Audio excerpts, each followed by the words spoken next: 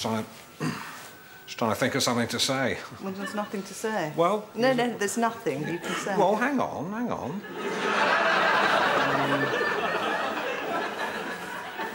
it's all